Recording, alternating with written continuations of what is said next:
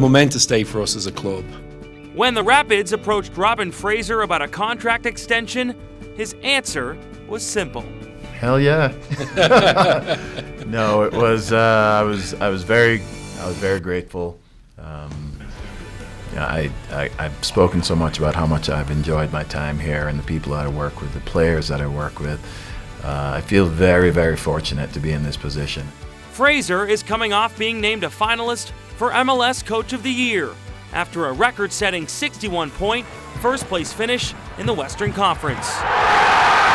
Just thrilled to be able to get it done for such an extended period of time. Robin spoke about the collaboration, and that's the key thing here. We're in a position now to actually build for the future and, and everybody being on the same page. Keep it going. Absolutely fantastic. Fraser mentioned that there is now a runway, a four year window for this team to win big. He says he will celebrate this milestone, of course, but in the end, it's all about winning at the highest level. We've had a really good two and a half years. We have so much unfinished business.